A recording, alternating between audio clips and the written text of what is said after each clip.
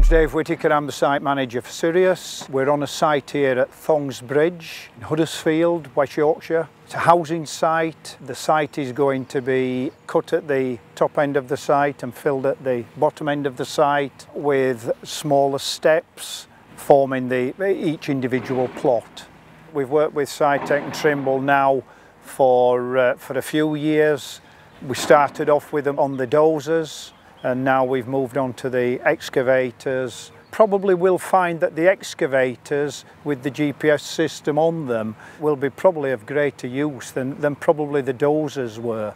We've brought onto site this CAT 320. The operator of this machine, Kevin Glover, has been using the, the Trimble Earthworks system now for a while. Originally was on the older system, which has been taken off this machine with the latest system now put on it and he's finding this a lot more user friendly and a lot easier to use having the bigger screen in the touch screen it's just a lot quicker and just generally that more user friendly with the tilt bucket you've immediate response. You're looking at your screen you've no lag it's just there instantly and it's just a great saving and a, a, and a great time saver. And the tilt bucket's absolutely fantastic.